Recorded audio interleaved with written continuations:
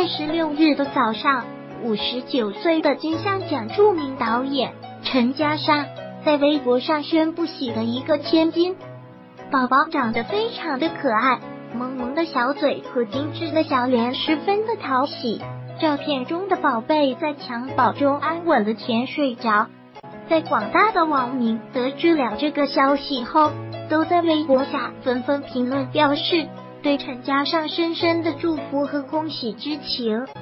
就在去年，陈嘉上和年仅二十九岁的内地女星在香港正式注册结为合法夫妇。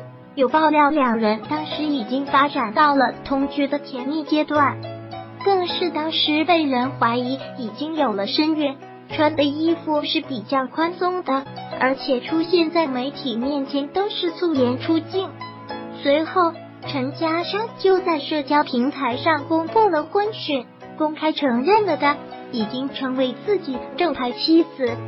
身为大导演的陈嘉上身边不缺女伴。陈嘉上曾和前刚继承会议有过一段婚姻，婚后有两个孩子，不过婚姻只维持了三年就结束了。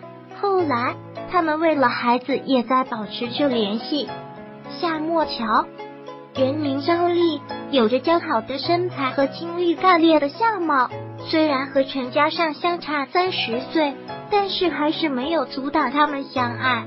生活中的夏莫乔是一个很爱狗的人，日常会在社交平台上秀出一些关于他爱狗的照片，可以看出他皮肤状态保持着很好，一头清爽的短发，帅气十足。夏沫乔染了一头白发，是一个非常追求时尚和个性的女子，看起来非常的自然。如此年轻的她，站在老公陈嘉上身边。更像是女儿。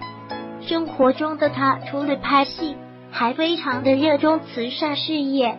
这是她在中国人口福利基金会中和孩子们的合影，可以看出她是一个很善良淳朴的好姑娘。对于这样相差三十岁的爷孙恋可以修成正果还是蛮值得高兴的。毕竟在爱情面前年龄根本都不是问题。